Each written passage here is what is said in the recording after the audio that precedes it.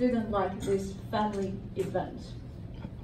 To be honest, I prefer going to the restaurant and doing grocery shopping or something you can do in a room with air conditioning like joint Toastmasters meeting.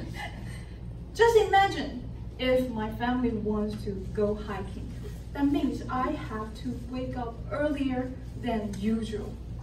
The most importantly, it's so exhausted, especially when you are on the unlimited uphills. All you want to do is crying for help.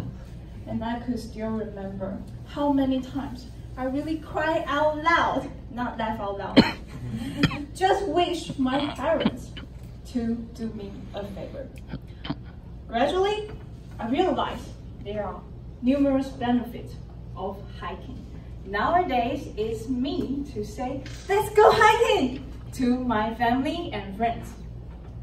There are numerous benefits of hiking. The first one is it can increase your sense of happiness. The research has found that hiking in the most extreme cases of high-risk suicide patients, hiking led to a drastic decrease in the sense of hopelessness. From my experience, when I was backpacking in Europe, I planned to go hiking by myself. At first, I thought there would be many hikers with me. However, there was no one there. Zero. I was worried. What if I got lost? What if I got injured? No one will find out. No one will help me. And I might not have second chance to go back to Taiwan. And maybe I need to get married there? no, I don't want it. What a nightmare. I don't want it.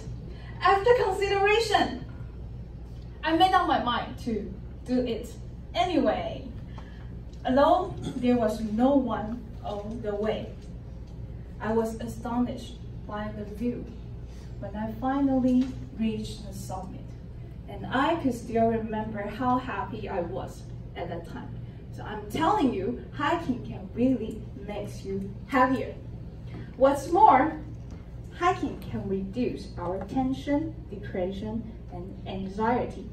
The research from Stanford University has found that even a 90 minute walk in a natural environment can have a significant effect on the brain and the way we feel. They ask participants to fill in questionnaire about negative thoughts and conduct a brain scan before they finishing a walk either in an urban or nature environment. After that, they ask those participants to fill in the questionnaire and take a brain scan again. The results, people who had walked in a nature environment showed a significant reduction in negative thoughts. And from my point of view, whenever I'm sad, depressed, or stressful, I would like to go hiking and unplug myself. Although it's a little bit exhausted, I will feel much better and energetic once again. So believe me, hiking can really make you easier and more comfortable. Hiking can also improve our overall health. It helps to improve our fitness, build muscle, and lose weight.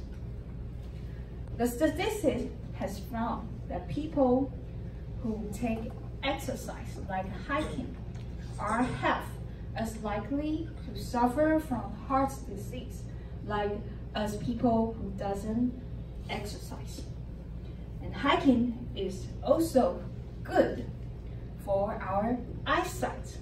Nowadays, people spend so much time on TV, computers, and smartphones, like some of you just did. and hiking is really able to lower the pressure in your eyes. So, believe me once again, hiking can really improve our overall health. When I was young, I went hiking with my family and I really enjoyed the memories we created together.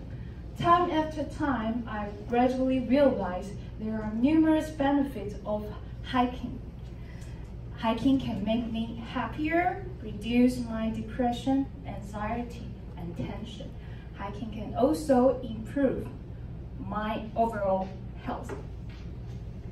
And I want to tell you, hiking is really a nice exercise because you only need to prepare for its comfortable clothes and shoes. Yeah. I think we are very, very lucky because in Taipei, there are different kinds of hiking trails. You can even download the app to help you explore the beauty in Taipei. So you can become happier and healthier. So today's weather is so nice. What are you waiting for? Let's go hiking! Toastmaster day.